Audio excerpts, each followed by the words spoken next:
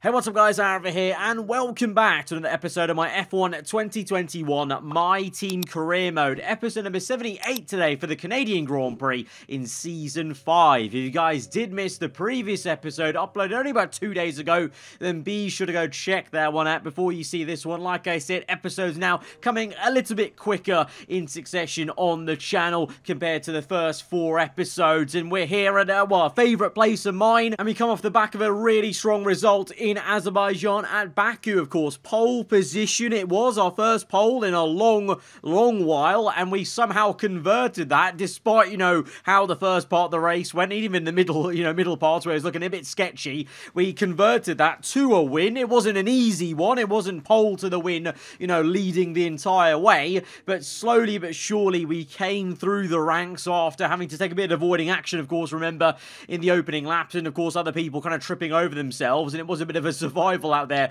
of Azerbaijan, but we made it through. Uh, we just didn't quite get the fast lap of the Grand Prix. I think that was stolen away from us by Valtteri Bottas there in P9 in the dying lap, so it wasn't quite the grand slam, but I'm still very, very happy. Like I said, it's a rarity that we're actually on pole position. I'm not much of a qualifier, and the AI, generally speaking, uh, in the last, I would say, three games have been, you know, quite good at qualifying versus the race. They're generally always faster over one lap, but like I said, I've never been one to be that great on Saturday. Doing the best on Sunday, though, and it means we're leading the way in the championship going into this one. Carlos Sainz in second place after a last lap overtake to get fifth place there. Puts himself only seven points behind us. So, you know, despite Ferrari, well, his teammate being nowhere on this page of results, uh, Sainz is leading the way and showing Ferrari could battle for at least the Drivers' Championship. But I think with Ricciardo doing so poorly, I don't think there's any way they can battle for the Constructors. But in terms of the constructors fight for us. Leclerc is there in the in the top three,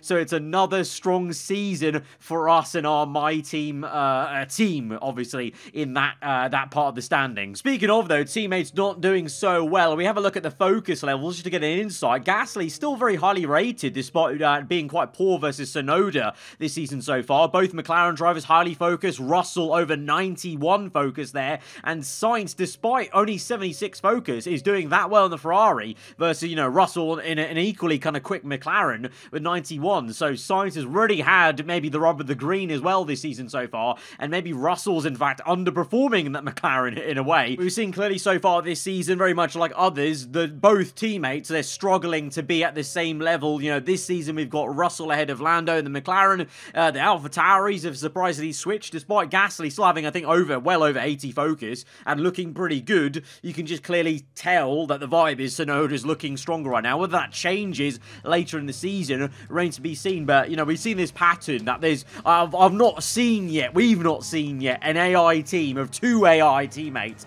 be as strong as one another. The only case that's happened is when, obviously, it's there's not been one... Uh, there's only been one AI involved, and the other one is myself, you know. This, uh, on this year's game, I think more so than other games, the, our AI teammate has been so, so strong. There's been so many points where I've, you know, doubted if I can beat my teammate, you know, Perez, Schumacher. Uh, well, we did get beaten thoroughly by Button to the championship. He won it there. So, you know, the teammates have been really strong this year, but it's also meant AI versus AI, one of them has to be the weaker one. And when that happens, it seems to be quite a dramatic one for some reason, kind of mimicking real life, because uh, in real life Formula 1, I think we've seen that uh, in the last two years, that there's been a big, bigger discrepancy sometimes between teammates, where the skill gap is showing a lot more at the end of this kind of, you know, this era of the V6 period. So, uh, peculiar stuff, but it translates over into the game kind of nicely. We've been delving into the race weekend, just getting through the kind of formality of Q1, really, whilst we've been discussing that. And Tsunoda going top of the session, showing once again he's looking pretty strong. But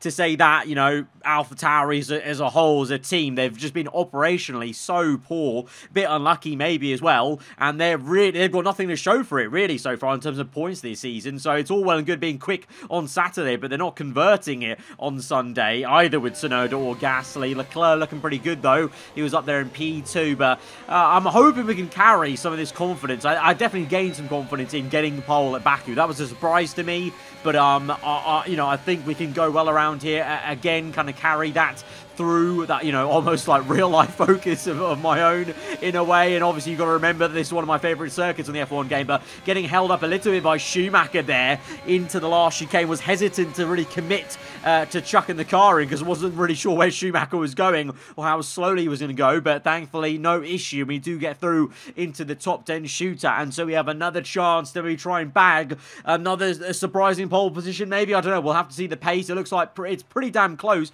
You know, only one tenth separating the top five here. Gasly though is uh, fast of all, and Tsunoda, to say he was looking quick. Then we just heaped all this praise on him. He's knocked out, so the commentator's curse is very much coming out in full force. It would seem because Tsunoda's knocked out. Uh, Ricciardo is, Bottas is, and again Guan Yu Zhou being the team leader at Williams uh, so far this season in P6. Both McLarens through with the Red Bulls as well, and Verstappen drags that Merc into the top 10, whereas his teammate Hamilton, he was knocked out a long time ago in Q1. All but a formality for him to not make it through into Q2, basically, these days in the career mode. Again, a bit of a surprise to see both Red Bulls up there, um, but, you know, that that's kind of the fault of, you know, the likes of one of the Alpha Tauris not doing the job and getting through and knocking one of them out, as they were doing a lot of the time last season. But now, anyway, we're through into this shootout, and it's time to focus on that because I'm feeling good. I think we could actually aim for a very lofty grid position. Let's see what the first one's saying. Bit of understeer and general lack of, you know, uh, a good line, I would say, through that hairpin, really. I think I took a bit of a too tight of a line in the hairpin. So this time in the second run, looking to improve. At the moment, we're P3, so it's still pretty damn good, even though I was disappointed at that first run. Red first sector, green in the second. We're two and a bit tenths up here. So that hairpin made a massive difference to that, you can see. You know, that's a ma massive margin to gain in just one corner as we fly through the last chicane. Little bit of time lost, actually, on the entry point there. Is uh, we've gone down to 1.8 tenths gain, and we're, oh, narrowly, narrowly just going to miss out on pole position there. Leclerc was right behind me on his flying lap, and I don't think he actually got a good lap in. No, he did not. So much to the team's dismay, kind of split way to think about that. We're on the front row, only four thousandths behind Guan Yu Zhou, the Williams driver, on pole position. How about that? The, the more junior Chinese driver on pole, you know, the, the man who was looking the quickest out of everyone in Formula One last season in Season 4, knocked out in Q2 and the other Williams. And then for, for ourselves, Leclerc, like I said, I think he was on a flyer right behind me. So even though I was improving, I guess he was getting my dirty air. And that made a massive difference when you got a grid that's, you know, all got maxed out cars. And so Leclerc way down in P10. He'll be so frustrated with that. Norris up in P4. Sainz again, just there all the time in the top five with the Ferrari. And Giovinazzi as well. Verstappen's done exceptionally well to get the Mercedes ahead of Russell. Uh, I think more so, more just disappointment from Russell's side, not to be higher, really. And then Schumacher and Gasly finish out the top 10. Not too much to talk about with them. But uh, for us, I mean, this is good. It's not pole position, but it's still awesome to be on the front row in back-to-back episodes. That hasn't happened in a long while either. So could we try and repeat the vibe from Baku and try and convert a front row to a very decent podium or even go for the win today? Hopefully I could do one of my favourite circuits. Let's go to the grid. Bonjour! It's time once again to go racing here in Montreal, the second largest French-speaking city in the world, and home since 1978 to the Canadian Grand Prix. We'll be seeing top speeds of around 210 miles an hour here at the Circuit Gilles Villeneuve with around two-thirds of the lap taken at full throttle.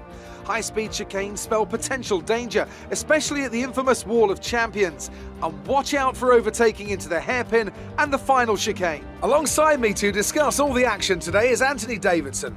Thanks for joining us, Ant. And tell me, you were down in the pit lane earlier. How do you think the track conditions are today? Well, it's looking a bit cold out there, if I'm honest. These tyres have quite a narrow operating window in terms of the temperatures they need to extract the best grip. So with a cold track surface, it's going to be harder to keep those temperatures up, which will lead to lower grip and maybe more mistakes. Let's run you through the driver grid order for today's exciting race. Guan Yu Zhou lines up on pole position and the owner driver alongside. Looking down the rest of the grid we have Norris, Sainz, Antonio Giovinazzi and Verstappen, Russell, Mick Schumacher, Gasly and Charles Leclerc, Tsunoda, Ricciardo, Valtteri Bottas and Ocon, Stroll, Ilott, Lewis Hamilton and Jack Aitken, Mazepin, Latifi, Matsushita and Christian Lundgaard. And with preparations almost complete, let's head down to the track. The Canadian Grand Prix is already quite exciting with the strategy. It's a two-stop normally in the dry from softs to two sets of medium tyres, but it's going to be a bit more interesting today because we've also got a bit of rain, a bit of a, a surprise one because we've got, look, it starts sunny and it's all fine, a little bit cloudy, then gets overcast, and right at the end of the race, that's a heavy rain symbol. So whether it's going to get to full wet or it's just a dramatic, like one lap it's dry, one lap it's inters, and everyone's going to be screwed, I don't know, but that's going to be, well, uh, interesting to say the least. Probably a bit of a, of a mess when it comes to the pit stops and when we come in, but everyone's in the same boat. So let's try and see what we can do from the front row here in Montreal for the Canadian Grand Prix. We get to five red lights on the front row alongside Guan Yu Zhou off the back of a race win. Can we continue this streak? Five lights are out and we're on the way. It's a fantastic start for us. What an electric jump and Guan Yu Zhou's had a mare into turn one though. Oh, Giovinazzi's come out of nowhere and he's hit the side pod of us. What is going on here? That turned into, well, from a fantastic start to a nightmare because I'm pretty sure we've got floor damage.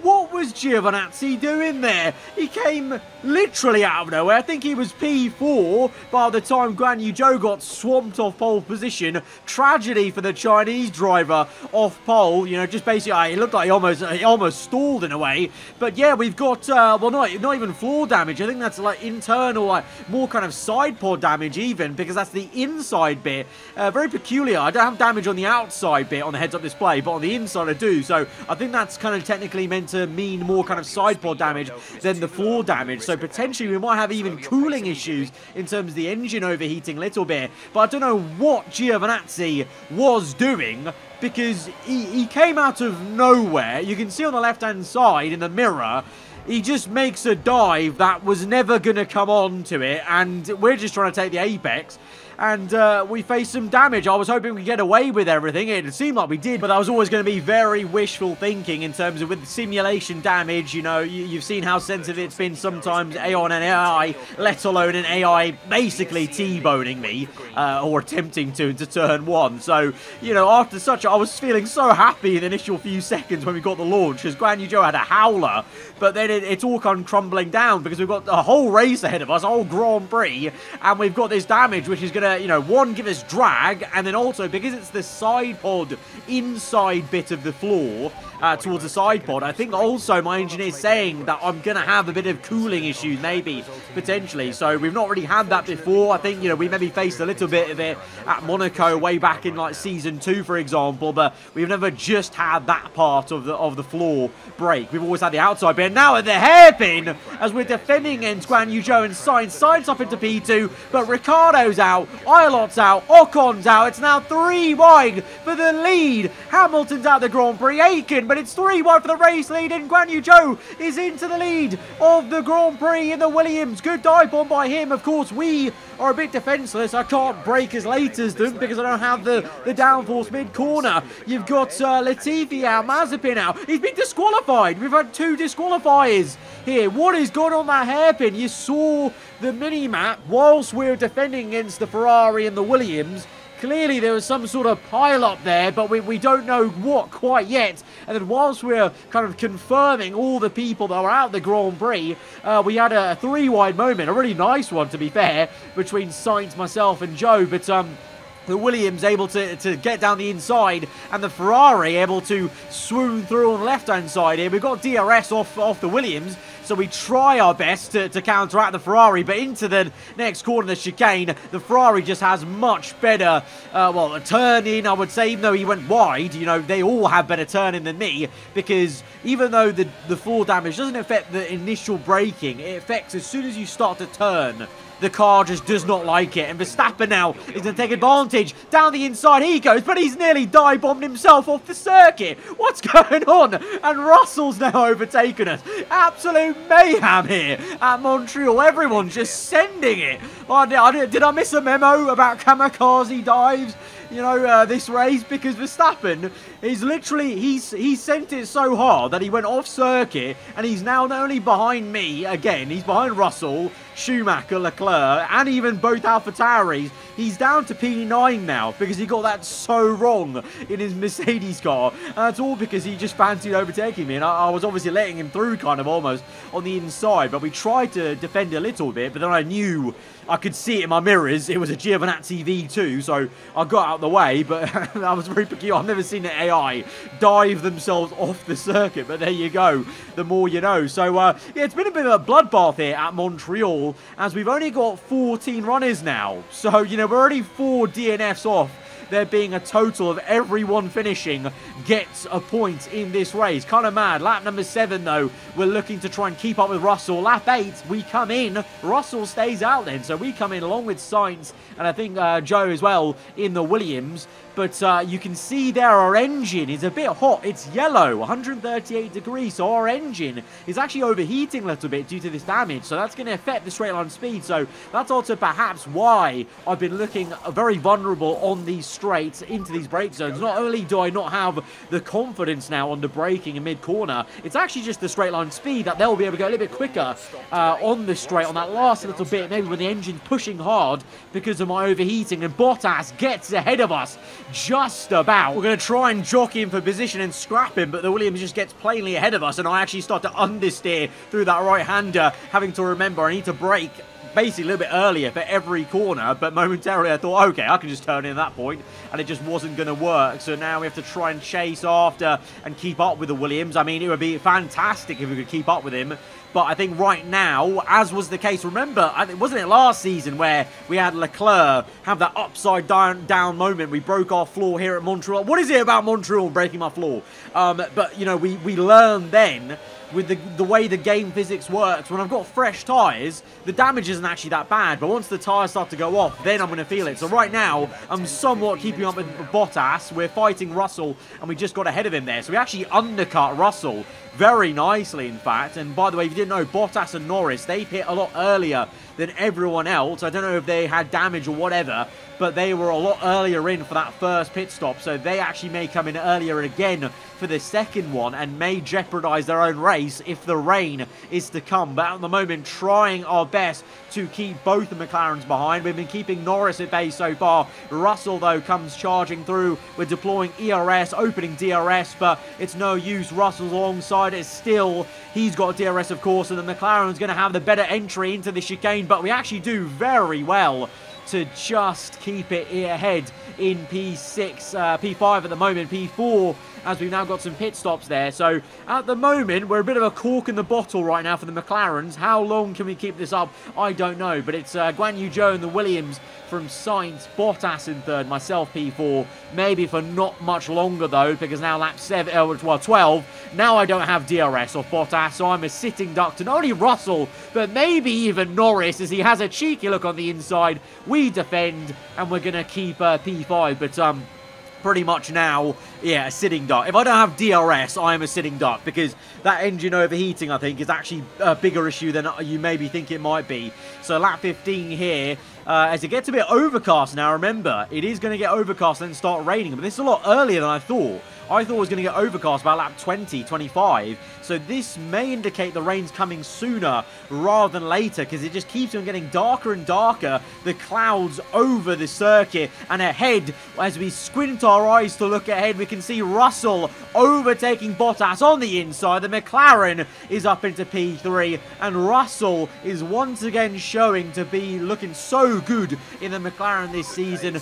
Norris, you know, looked so strong in previous seasons he's just struggling a little bit versus Russell on this one. And Bottas, well, he's struggling a little bit, really, because his teammate's out there leading, whereas he's being getting caught by McLaren. So we'll have to keep an eye on that. But at the moment, not much to report from us. We can't keep up with those two. I think it's a miracle right now. We're even 1.4 seconds behind Bottas. But that's just because he's lost time to, uh, you know, battling Russell. Look how far up the road Russell is now on the minimap. So Bottas just losing pace. Remember, he pit earlier, like I said, so him and Norris may be coming in in earlier. Yes, they are. They are coming in. But look at the uh, on the left-hand side, a rain droplet. So Bottas and Norris and whoever else came in earlier, uh, they're all pitting for another set of mediums, I would say. But it's starting to rain, so they're going to get screwed over massively now because the rain is on the way. We don't know quite when. It's going to take a fair few laps, like 21. So, you know, at least uh, three, four laps where the rain was starting to fall. But only now does it look wet enough and I can actually feel it in my wheel. That is very much time to come in.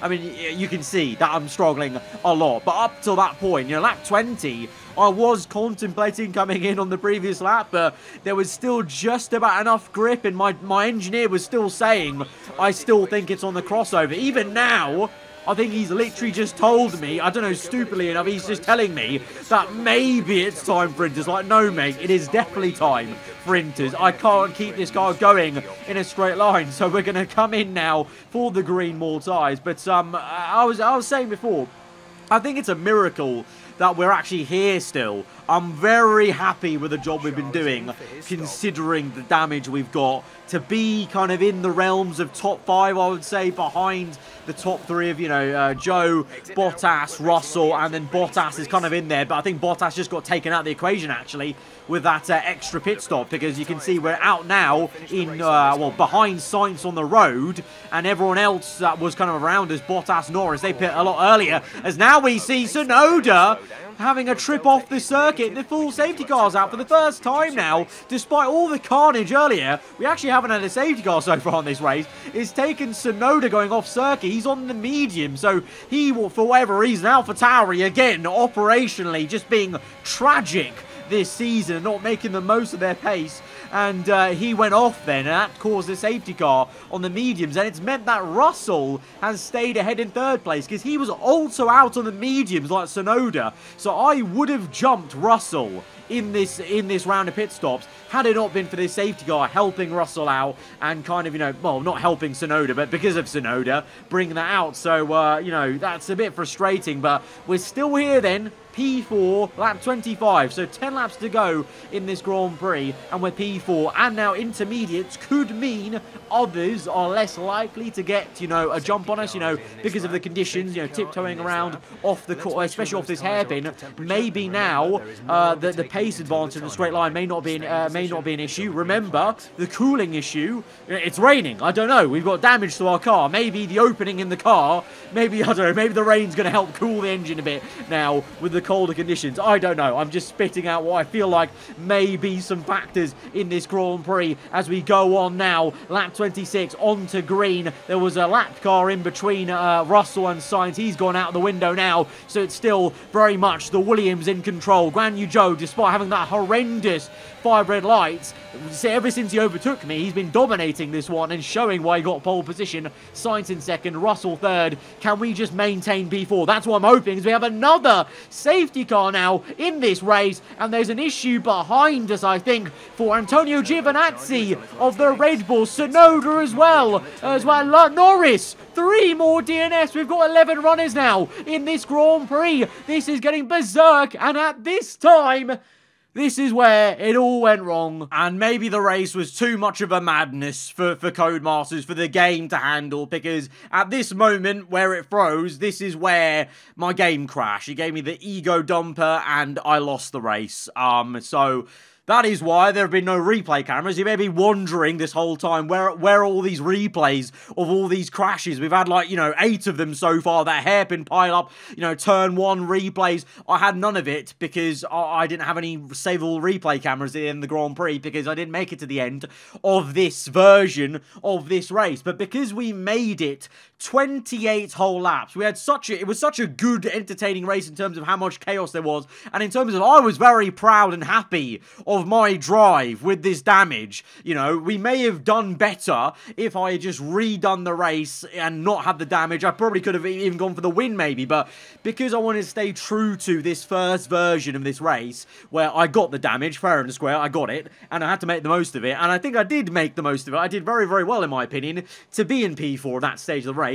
I redid the race off camera, and I was able to, with a bit of bodge work, get the same podium and where I finished. Behind me was a little bit different, but, you know, near enough to the big key players in this race, it was the same. So it's unfortunate. It's the first time, I think, on this game cycle in F1 2021 where the games crash like this midway through the race. We had quite a lot of these on last year's game in the back end around this time last year. So I'm hoping that this is really not the beginning of, you know, a series of crashings every couple of races now with the game. We have seen it before, for whatever reason, as the game cycle goes on, the game gets more unstable for whatever reason. I hope that's not the case, because this is a rarity on this game. It's the first time that's happened to me, but uh, it's a bit unfortunate. I hope you guys understand, though, my reasoning of redoing the race, but kind of just making sure the results were somewhat similar, because, like I said, I actually, I wanted to, you know, firm the fact that I got the damage. I didn't want to redo it and just basically almost cheat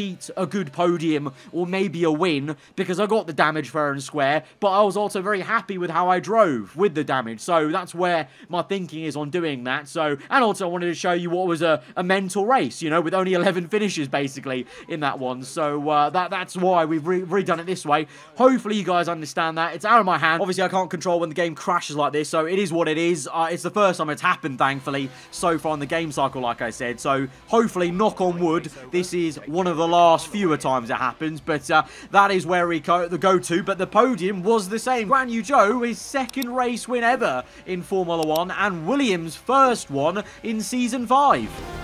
Well done, Williams. Certainly showing what they're made of out there today. Anthony Davidson, a resounding victory today.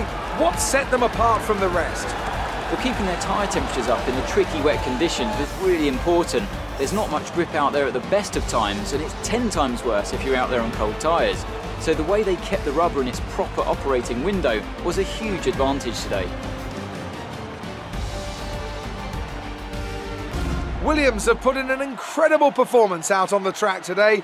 I'm glad all the hard work of theirs has finally paid off. It's a win that Williams needed for sure to kind of kickstart their season. It's one that Guan Yu Zhou will be very happy with, kind of solidifying that he's doing a better job than Bottas so far this season. Sainz continues to just be there in the Ferrari, whereas his teammate keeps on just having no shows, no points, nothing to show for it. And Russell, again, also there in the McLaren. We're seeing these three be kind of champions of their three respective teams for ourselves.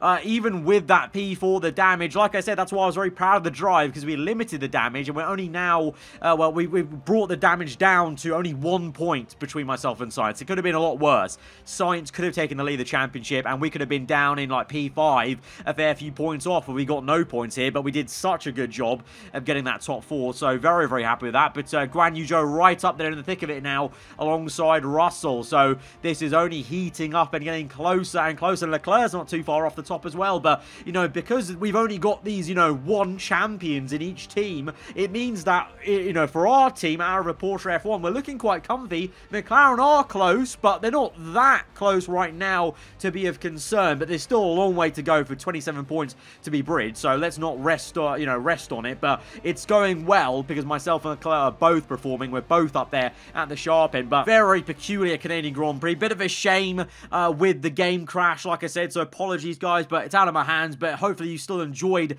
the episode nonetheless. Like, like I said, the footage was not lost. That race was not lost because, you know, the spirit of the race, the podium positions, at least my P4 was, was retained with the bodge jumping I was able to do. So, unfortunate about the rest of the drivers, but I could only do as much as I could really trying to emulate the same sort of results. So, hopefully you guys understand that. If you did enjoy it, hit the like button. Let me know what you thought in the comments below. If you're around here, then do get subscribed for weekly Formula 1 content. I'll see you guys next time. Goodbye.